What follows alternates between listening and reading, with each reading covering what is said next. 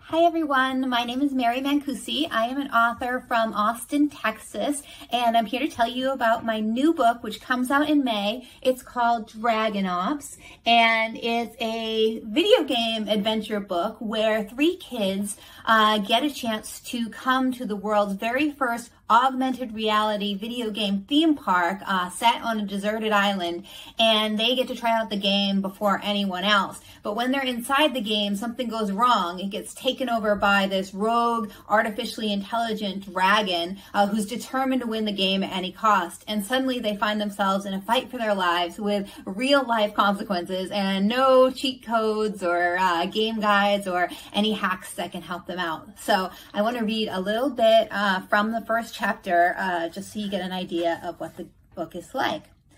The dragon was bigger than I remembered. That was my first thought as we crept through the dark temple, entering the beast's inner lair. Atreus lay sleeping on a massive hoard of gold and jewels, his thick, scaly tail coiled around his body like a snake. He was so large, in fact, he barely fit into the cramped space, and I wondered wildly how he could possibly be comfortable all squashed up like that. A totally ridiculous thought, I know, but I wasn't exactly thinking straight, too busy freaking out with fear. I shot my sister a questioning look, wondering if she noticed the change too. Had Atreus really grown bigger since we'd seen him last? Were his scales redder now, more blood-like? Or was it just a trick of the light? His wings seemed longer, his tail thicker, his talons sharper, as if evil had gotten an upgrade. Suddenly, what once seemed a totally doable plan down at the bottom of the mountain now seemed a craziness of epic proportions. What had we been thinking? We were just two kids, total noobs, and yet here we were hoping to take down the biggest, baddest dragon in all the land by ourselves. This was not going to end well. Atreus stirred, rousing from his slumber. We dove behind a crumbling stone column, desperate to stay out of sight. My heart thudded madly in my chest as his eyes slid open, twin golden crescents shimmering in the darkness. A burst of steam shot from his snout as he yawned lazily, showing off a dark pit of razor-sharp teeth. Sweat dripped down my back. How could we ever hope to defeat such a creature? But we had no choice. Everything came down to this. I squeezed my hands into fists, trying to wake my inner hero, to remind myself that here in this world, I was not Ian Rivera, 12-year-old gamer geek from Austin, Texas, and real-life total wimp. Here I was Lord Wildhammer, premier knight of the realm. Lord Wildhammer wouldn't be scared of some dumb old dragon. Lord Wildhammer would be chomping at the bit to slice its ugly head off and save the world. Lord Wildhammer, it would seem, was a major idiot.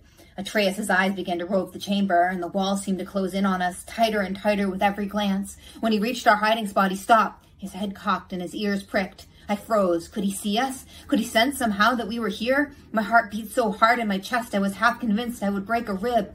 What were we going to do? How were we going to survive this? My sister reached out, squeezing my hand hard. Remember, it's only a game, she whispered. But the thought wasn't as comforting as it should have been as my eyes fell on the dragon's belly, glowing a deep dark red as it warmed with deadly fire. Because this might be a game, but one wrong move and it would be game over, this time forever.